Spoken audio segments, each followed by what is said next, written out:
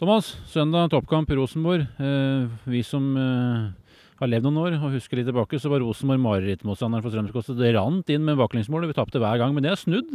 Eh, siste, siste åtte åra har vi bare ett tap mot dem her på Marienlyst. Hva har skjedd der?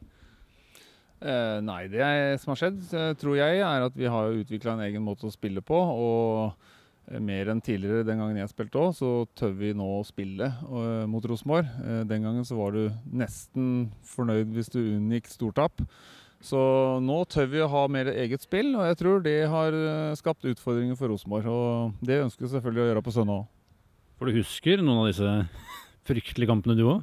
Ja, jeg husker i gamle dager. Hvis ikke vi scora på langt innkast og klabb og bob, så scora vi ikke. Så, så, det er eh, noe mer eh, artig nå, jeg må si det. Og vi har et bra tak på Rosenborg, og kan, de skal være absolutt eh, oppe og gå, Rosenborg, for å slå oss her. Ja.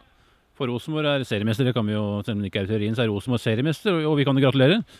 Ja, absolutt, og det kan ikke ta igjen det. Men samtidig så får vi konsentrere oss om oss sjøl, og, og, igjen så skal vi ha fokus på det å være et veldig vanskelig lag å slå. Eh, og det har vi lyst til å være hver gang. og det, Vi merker det på de lagene vi møter, hvor uh, trenerne etter kampene sier at vi fikk ikke til vårt beste i dag. Og det er jo fint for oss, det. Da har vi lykkes med det vi prøver på. Så må vi selvfølgelig ikke la det gå utover alt eget spill.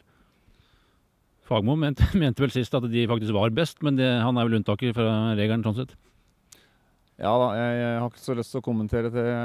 Det, var, eh, det må han mene, og så får vi konsentrere oss om oss sjøl i Drammen. Ja, vi skal prate om oss, jeg kunne ikke dy meg, men, eh, men, vi er gode. Vi har vært gode lenge. Og når vi er så gode som vi har vært, så, så det viser også poengfangsten, så har vi vært eh, på nivå med, med det beste laget som er Rosenborg. Derfor blir det moro på søndag. Ja, jeg, det blir jo to lag som er bra på kontringer. I tillegg så er vi brukbare i etablert angrep også, så jeg tror det blir en morsom kamp. og Eh, Rosenborg kan jo spille med litt eh, senka skuldre, siden de har eh, ganske mange matchballer. Eh, og de også kan få hjelp fra andre lag. Så, så derfor så må vi konsentrere oss om oss sjøl og, og, slippe ned skuldrene våre og konsentrere oss om vårt spill. og det, det tror jeg vi skal eh, klare fint. Og vi gleder oss enormt til full stadion og ordentlig støtte fra publikum for å, for å gjøre det vanskeligst mulig for Rosenborg. Vi elsker disse kampene, og disse kampene, høstkampene på Marienlyst når det er fullsatt, de pleier jo å bli fryktelig morsomme òg, da. Så, så, her er det litt moro i vente. Ja, vi har mye tradisjoner i Strømsgodset, og en av dem er jo å ofte levere da, når det er eh, sånne tøffe oppgjør og, og, og, viktige oppgjør på slutten av sesongen. Og, og, det har publikum en tendens til å hjelpe oss veldig godt med, og det håper jeg de gjør nå på søndag også, for det, da trenger vi den støtta vi, vi kan få. Og så får vi se hva vi ender opp med til slutt av sesongen, hva, hva vi, når vi teller opp. Men uh, hvis vi kan få den støtta nå på søndag, og vi uh, yter det vi skal, så kan det bli veldig gøy. Vi som sitter og ser disse kampene med kanskje litt andre øyne enn dere, ser spillere som virker uredde, fryktløse, med masse selvtillit. Eh, og virker som alle vet hva alle skal gjøre.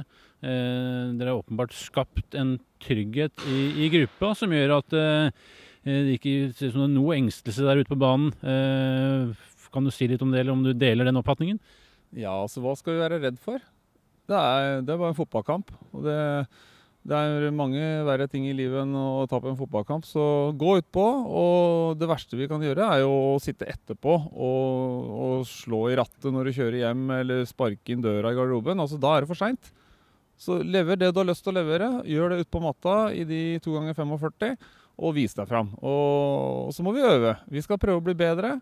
Og hvis vi da kan være bedre på høsten enn vi var på våren, så har vi fått utvikling, og det er det vi ønsker i Strømskog. Veldig bra. Da skal vi kose oss på søndag. Vi skal utvikle oss, og vi skal ha det moro. Alle sammen. Alle, alle tinga. Lykke til. Takk for det.